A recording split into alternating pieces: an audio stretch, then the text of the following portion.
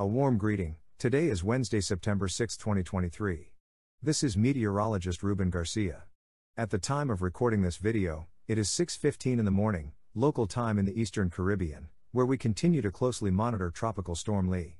Tropical storm Lee continues to strengthen over the waters of the tropical Atlantic, and it is anticipated that it will soon begin a rapid strengthening process. Therefore, it is expected to become a hurricane later today. At the moment, the forecast maintains that it will follow a west northwest trajectory over the next five days. It is expected to pass about 150 to 200 miles north of the Lesser Antilles and between 250 to 300 miles northeast of Puerto Rico. It is anticipated to come closest during the upcoming weekend, possibly as a powerful Category 4 or Category 5 hurricane. Although the current projection suggests that it will pass at a distance from the northeastern Caribbean, we continue to monitor for any changes in the track. Additionally, with the projection from the National Hurricane Center, some indirect effects are expected, which we will discuss later. During the past night, we have observed that the structure of Tropical Storm Lee continues to show signs of strengthening. Satellite images already show an outer band beginning to surround the center of circulation, and it is very likely that we will soon see an eye developing in this system. This is evident in the visible satellite image, where we can already see the beginnings of an eye formation and this outer band circling the circulation. This is typical of systems that are ready to undergo a rapid strengthening process. In the next 12 hours, this rapid strengthening process will likely begin as it moves west northwest. Also, note that the overall track of Tropical Storm Lee has been west northwest, although in the last 8 hours, it had a slightly westward movement. This does not change its trajectory because it has already resumed that west northwest direction. Remember that these cyclones do not move in a straight line, and this is entirely normal. They generally maintain a west northwest trajectory, which is why all models agree that it will continue this movement over the next five days. The exception is the UKMET model, which has a trajectory that is somewhat more westward, passing closer to the northeastern Caribbean. However, this model is underestimating the intensity that the future Hurricane Lee will have, so for now, this trajectory is not considered likely. Remember that this forecast has uncertainty, and a closer movement to the Caribbean region is possible, just as it could move farther away than projected. The most likely scenario is that it will continue to move generally west northwest over the next five days. Remember that specialized trajectory models have been very consistent with this forecast.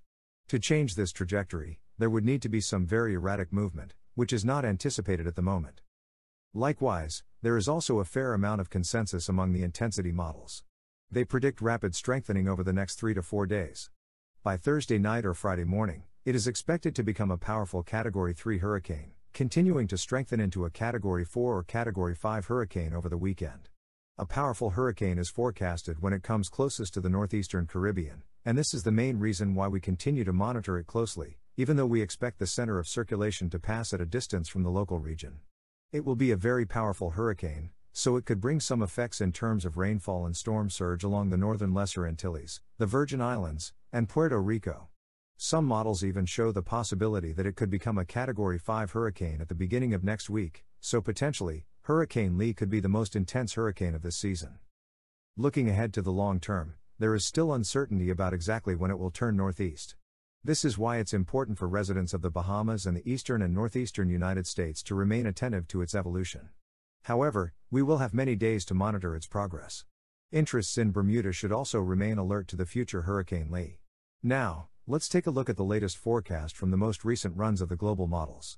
Let's start with the European model. Remember that the European model has been the most accurate in predicting the progress of Tropical Storm Lee. In the midnight run, it continues to forecast that it will strengthen into a powerful hurricane as it moves west northwest. It still projects that it will pass about 250 to 300 miles northeast of Puerto Rico. This model has been very consistent, predicting the same trajectory for days. As we can see in the last six runs, the changes in its forecast have been extremely minimal. Again, this gives us a lot of confidence in the forecast, and the probabilities are very high that it will pass to the northeast of the Caribbean. In the long term, as it moves north of the Bahamas, you can see that the European model has a tendency to strengthen the high pressure system located northeast of the United States. This could potentially lead to a trajectory dangerously close to the eastern and northeastern United States. However, this is a forecast 9 to 12 days out, so there is still a lot of time to see exactly where this future hurricane will be passing. For the southeastern United States, including Florida, there is currently no associated risk with this tropical cyclone. As a prelude, I also want to mention that we will be monitoring another tropical wave next week. The models indicate the possible development of a new tropical cyclone that could have a slightly westward trajectory. However, we will have enough time to monitor its progress. Now, let's switch to the forecast from the GFS model. In today's morning run, it consistently strengthens Tropical Storm Lee into a hurricane today and then into a Category 4 hurricane when it is located northeast of the Caribbean, passing between 250 to 300 miles northeast of the Virgin Islands and Puerto Rico on Sunday. Like the European model, the GFS model has also been very consistent in its recent runs, with very small changes in its forecast. This also gives us high confidence in this forecast. Also, note that a new tropical wave will be coming out for the weekend, which we will be monitoring during the coming week. Similarly, in the long term, you can see that the GFS model takes the future Hurricane Lee on a northward movement, approaching the northeastern region of the United States. It is important for areas from Nova Scotia to the northeastern United States to stay alert to the evolution of this cyclone. Let's now discuss the potential effects that may be felt across the northern Lesser Antilles and Puerto Rico, specifically during the weekend as the center of circulation passes to the northeast of the region. The GFS model is forecasting that during Saturday night, it will come closest to the Lesser Antilles. At the moment, tropical storm winds are expected to remain over the Atlantic waters. Similarly, the forecast from the European model also has the future Hurricane Lee passing about 250 to 300 miles northeast of the Lesser Antilles during Sunday morning. Tropical storm winds would also remain over the Atlantic. The German model maintains a very similar forecast with a Category 4 hurricane moving northeast of the Caribbean and passing closest during Saturday night and Sunday morning. The Canadian model also aligns with this forecast.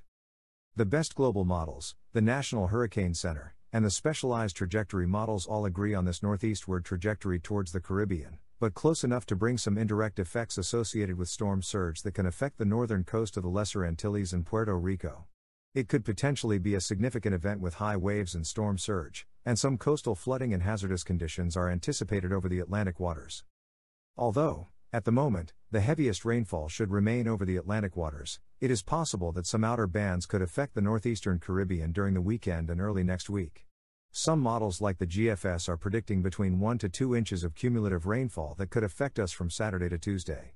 However, note that the heaviest precipitation is expected to remain quite distant from the Caribbean. In general, it is good news that it is expected to pass at a distance from the northeastern Caribbean. However, remember that the cone of uncertainty is quite broad, and we cannot rule out a slight westward shift, which could bring greater effects to the local region. The chances of the center of circulation passing directly over the northeastern Caribbean are extremely low, so it is almost certain that there will be no direct impact on the northeastern Caribbean. Nevertheless, with these phenomena, we must remain vigilant for any unexpected changes. Once again, we have a lot of confidence in this forecast. Well, that's all for the update on the almost Hurricane Lee. During the afternoon or evening, I will be recording a new video to provide another update. I hope everyone has an excellent day. Goodbye for now.